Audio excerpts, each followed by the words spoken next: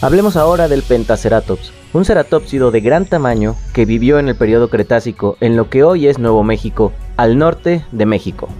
Entre sus características físicas resaltan dos cuernos muy grandes en la parte superior de los ojos, uno más pequeño sobre la nariz, una corona rodeada de cuernos pequeños, dejando dos en la parte superior hacia el frente.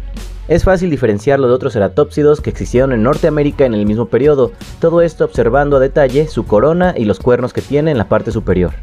Estos animales llegaron a medir una longitud de 7 metros y superando los 3 metros de altura por lo mismo del tamaño de esta corona verdaderamente imponente. Tanto en la región como en el periodo en que habitaron había peligros por doquier, pero a diferencia de otros, su tamaño y el tamaño de su cornamenta le daba más protección y garantizaba su supervivencia.